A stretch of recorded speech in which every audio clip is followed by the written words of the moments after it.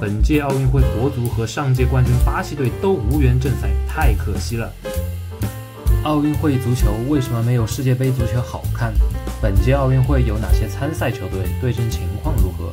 又有什么潜在看点？Hello，大家好，这里是周火星，这里是从零开始看奥运的第二期节目。首先，很感谢大家对第一期视频的喜爱，感谢大家的支持，也看到了评论区和弹幕中很多小伙伴的建议与期待。我会在接下来的视频里不断的优化自己的内容和表现形式。对大家期待的内容，也会考虑出视频来做讲解。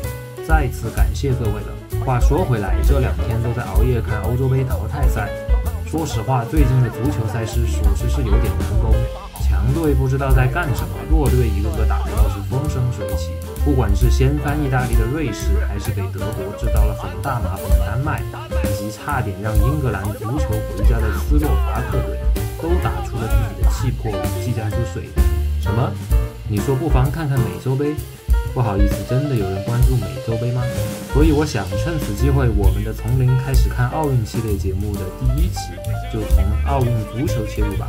不过也是苦了国足球迷了，本届奥运会国足和上届冠军巴西队都无缘正赛，太可惜了。OK，话不多说，新人 UP 主创作不易。如果您看完本期视频觉得 UP 主讲的还不错，或是内容对你有些许价值，或是某几个点让你开怀一笑，还麻烦动动手指给我一个免费的一键三连。数据不错的话，我会立马加班加点干出下一期。那么第二期巴黎奥运足球项目前瞻及详解，来了。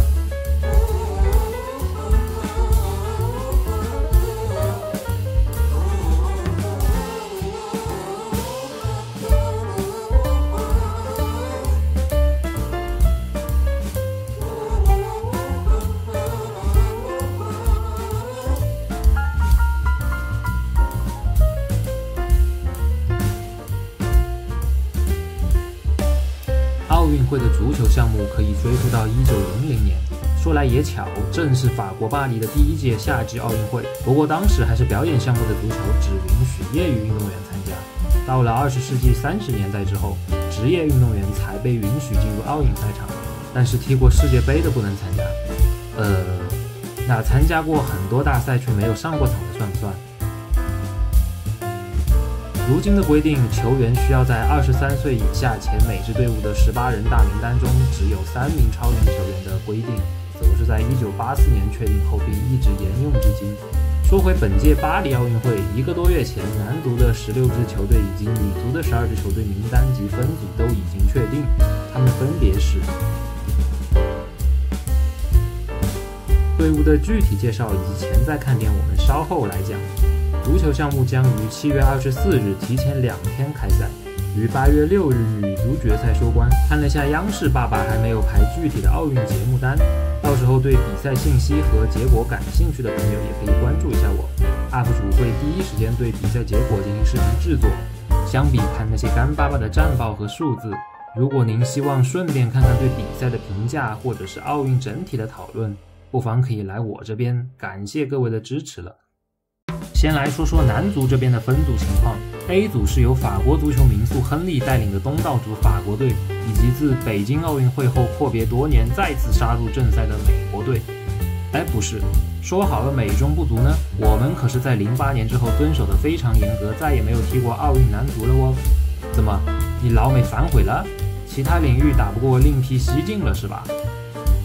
此外，还有几内亚与分在亚足联的新西兰国奥队。B 组则由世界冠军阿根廷队，并且据外媒报道，奥塔门迪、阿尔瓦雷斯以及阿根廷的大马丁作为超龄球员有可能会参赛。世界冠军的核心球员班底作为国奥的中轴线。如果消息属实，那阿根廷必将掀起一场腥风血雨。此外，还有一个，更何况还分到一个摩洛哥，阿韦罗永远的痛摩洛哥队，以及伊拉克与乌克兰。由于这两个国家在某些问题上比较敏感，所以我们就不做延伸，只讨论足球本身。C 组由上届奥运银牌的西班牙国奥队、来自亚洲的乌兹别克斯坦，还有北非劲旅埃及，以及与美国在中北美 U20 杯赛中的决赛对手多米尼加组成。D 组则有东亚独苗日本队，南非世界杯上点球十六强淘汰日本的巴拉圭队，来自西非的马里以。及宗教圣地以色列所组成。从最终的入围组成上看，欧洲四支、亚洲四支、北美两支、南美两支、非洲四支，各大陆都非常的均衡，并且每个小组欧亚美非各一支，非常符合奥林匹克运动精神。再来看女足这边，A 组同样的东道主法国队以及来自南美的劲旅哥伦比亚，北美的加拿大。比较巧合的是，和男组一样，新西兰同样和法国一起分在 A 组。B 组和 C 组可以称得上是死亡之组。B 组德国、美国以及澳大利亚的国际女足排名都非常靠前，相对弱一点的则是来自非洲的赞比亚。但是法国奥运嘛，说不定来自非洲的队员能够在他们的精神故乡找到些什么东西。Nice。C 组西班牙、日本、巴西也都是各顶各的强队，稍逊一则的则是尼日利亚队。看来女足的比赛含金量比男足还是要更高一些的。世界第一的西班牙，第二的法国，第四的德国，第五的美国，第七的日本，第八的加拿大，第九的巴西，前十里面来了七个。虽然是国奥队，但是由于女足没有年龄限制，可以称其为一座小女足世界杯也不为过了。男足战场群星缺席，姆巴佩、亚马尔、加维、佩德里、萨拉赫等球星均已经确定因为各种原因没有办法参加本次巴黎奥运会的男足项目了。看似星光黯淡，但是赛事将会呈现怎么样的走势？法国人能否在本土夺冠，也是本届比赛的一大看点。法国国奥教练是上一代的法国超跑亨利，四十八岁的亨利坐在那里，放眼望去，满眼都是自己。三十二岁的时候被天下足球配音的影子。大帝亨利于二三年的八月接手球队，在近期的新闻发布会上也表示，啊，虽然纵观九六年的亚特兰大奥运会之后，奥运会的男足冠军欧洲球队已经很久没有拿到过这一殊荣了。本次法国能否在本土给欧洲长长脸，这就要看亨利大帝的才华了。因为亨利此前的几次执教经验都不太亮眼。他能否抓住这一次国奥队的带队机会作为一个跳板，让我们拭目以待吧。西班牙女足目前世界排名第一，她的球员来源主要是国内联赛的巴塞罗那与皇家马德里两家豪门俱乐部，而主场作战的法国女足的实力也同样不容小觑。啊，值得一提的是，在二三到二四年的欧国联女足决赛中，正是西班牙女足以二比零的比分战胜了法国队。法国队本次以东道主的身份，势必是要报仇雪恨的。那能否成功，也是值得我们来关注一下。波尔多体育场新建是因为2016的法国欧洲杯，此后一直作为法甲俱乐部波尔多队的主场使用，同时也会承担一些大型演出。有意思的是，波尔多体育场的设计团队，它的建筑事务所的另一伟大作品就是北京鸟巢若弗鲁瓦吉夏尔体育场。接近一百年的球场，法甲劲旅圣埃蒂安队的主场，承办过多届大赛，包括八四年的欧洲杯以及九八年的世界杯。博茹瓦尔体育场，法甲球队南特的主场；里昂体育场、马赛体育场和尼斯体育场，这哥仨都是法甲数一数二大佬球队的地盘，具体就不展开了。最后的男女足决赛都将来到巴黎圣日耳曼队的主场——巴黎王子公园球场，也不知道母总监离开了巴黎会不会来这边看比赛。为什么奥运足球，尤其是男足，会发展到今天大不如世界杯的地步？现状：资本的游戏不接受风险。近些年，奥运年总是挨着欧洲杯与美洲杯。各队的主力基本都是效忠于各大欧洲豪门的球星，这些欧洲豪门玩的是资本游戏，想要的是可控性与稳定性。除非以举国之力，否则光靠足协很难让成名的超龄球星入选国奥队，放弃欧洲俱乐部的稳定性。尤其是欧洲球队，大部分球员都在欧洲联赛踢球，这也是为什么九六年的亚特兰大奥运会以后，欧洲就再也没有拿过奥运会的冠军。反观世界杯，从九六年到二二年之间。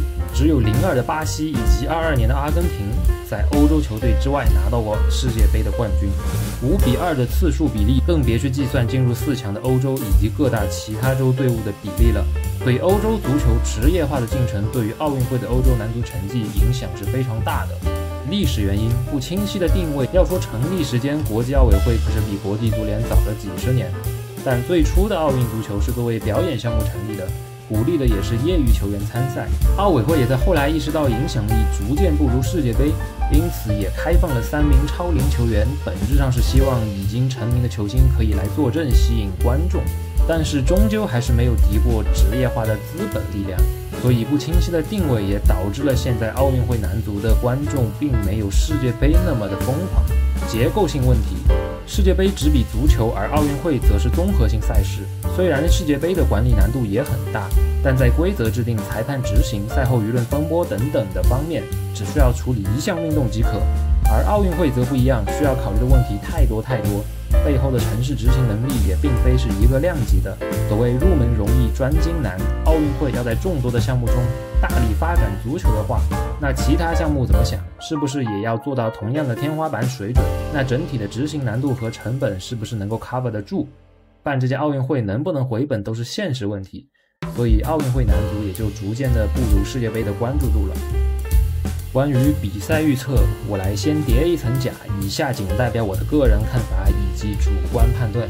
国奥队的比赛我看的确实不多，所以依靠信仰判断吧，大家也就看一乐。也可以把你认为的冠军打在公屏上。男足这边，法国的主场优势以及亨利的决心，让我不得不高看法国一手。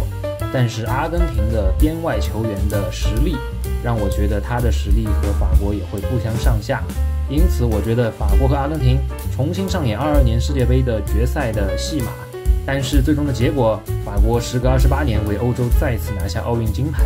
女足这边，说实话，这么多世界大牌球队真的不好预测，而且女足的球员。基本上都是国字号的主力出战。我预测西班牙和巴西会会师决赛，最终巴西在法兰西大陆上取得金牌。最后再次感谢大家对第一期视频的喜爱，我受宠若惊，请大家放心，UP 主正在全力更新后面的内容，后面更精彩。如果您喜欢本期视频，还请留下小小的点赞、收藏和转发。如果您愿意投一个小小的币。那 UP 主将在这边给您拜谢了，期待后续奥运会的更多视频，更多冷门项目的介绍以及热门项目的前瞻，也可以订阅我的频道。这里是周火星，让我们下期视频再见。原来乌拉圭男足胸口的四颗星有两颗是奥运会冠军啊！加油，只比中国队少一颗了。